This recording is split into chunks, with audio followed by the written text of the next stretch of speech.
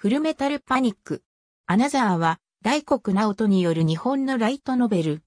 富士見ファンタジア文庫から刊行されているフルメタルパニックの外伝小説である。本作でも引き続きイラストレーターは式道寺が担当している。本作はフルメタの12年後の世界を舞台にした作品。原作者のが東昌司はストーリー原案と監修へ回り、執筆は本作がデビュー作となる大黒直人が担当し、二人三脚で作品作りをしている。第一巻の画東の後書きによれば本作は最初、担当が提案したファンサービスレベルの企画であったが、企画が進むにつれ徐々に規模が拡大し、自身が徹底監修をするという条件のもと、他のベテラン作家に執筆を依頼する話を断り、ファンタジア大賞の最終選考で落選するも、選考を担当していた、ガ東が軍事とアクションの描写の高さに注目していた、大黒を抜擢し、イラストもフルメタを担当した式へ依頼した。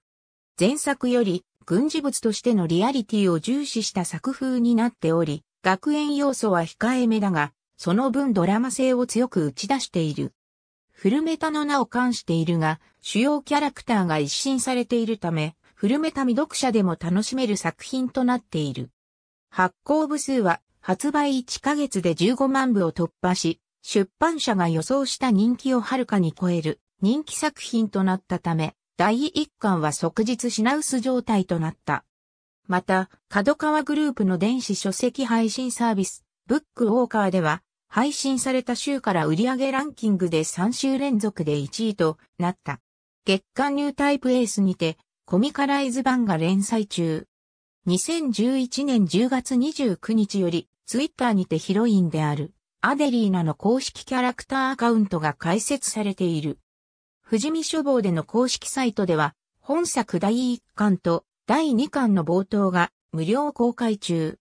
2012年9月からロボット魂での商品化が始まり、2013年2月7日には、ロボット魂ブレイズレイブン2号機が付属した本作第5巻限定版が発売された。ミスリルとアマルガムの戦いから12年後。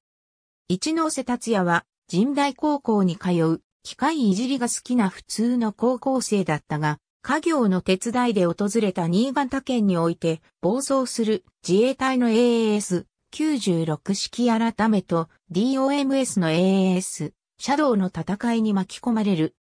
負傷したシャドウの操縦者アデリーナに代わってシャドウに乗り込んだ達也はそれまでエース操縦の経験がなかったにもかかわらず96式改めを止めることに成功した。そのことを知った DOMS 社長のメリッサマオは、達也を自社の研修生としてスカウトする。自身の進路に悩んでいたことと、実家の借金返済を助けるためという二つの理由もあり、達也はスカウトを承諾し、アメリカで本格的な AS 操縦者としての訓練を受ける。当初は実践には関わらないという名目で活動していた DOMS だが、自衛隊の施策 AS ブレーズレーブンをめぐる策謀、派遣先の国々の正常不安なども相まって新人の達也も嫌をなく実戦に駆り出される。彼はそこで祖国のために重責を背負って戦うユースフ、そしてテロリストである三条指定など自分とは違う世界を歩んできた同年代の少年少女たちや様々な兵士たちとの出会いを通じてこれまで想像もしなかった世界とその現実を知る。そんな日常の中で、次第に平和な世界に馴染めなくなっていく自分に悩み始めるが、アデリーナから君が必要だという言葉をかけられたことから、迷いを捨てて戦場に生きる覚悟を決める。達哉とアデリーナは、レーブンの内部に、13年前の大規模テロ事件で見つかった所属不明の M9 型エースの残骸から発見されたタロスと呼ばれる装置が組み込まれていることをミゾロギから伝えられる。そして、マオを爆弾テロで意識不明に追い込み、DOMS を乗っ取ったジオトロンエレクトロニクス社がカエサルプロジェクトと呼ばれる計画に基づき開発している無人 AS ケントゥリアに達哉の戦闘データが転用されていることを知る。アデリーナやユースフたちが復讐のためにジオトロン社と戦う準備を進める中、達也はたとえ自分の才能が人を殺す才能だとしても、その才能が誰かに勝手に利用されているなら、それは自分自身の戦いだと DOMS を離脱した仲間たちと共にジオトロン社と戦う決意を固める。ジオトロン社がルーマニア国内のクインコム要塞にてケントリアを生産しているという情報をつかんだ新生 DOMS はそれを妨害すべく攻勢に出る。ミハイロフの部下のナタリアやキクの朝日を交えた総力戦となるが、ある一体のケントリアがプログラム外の異常な行動を見せ、それが原因で要塞が崩落。要塞内部でも火災が発生し、その場にいた、達也、菊の朝日のうち、朝日が瓦礫に閉じ込められ、脱出不能となる。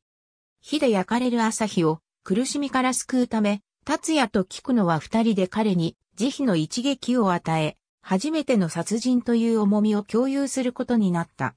時間軸はナンバリング通りだが、回想という体裁で短編集になっている。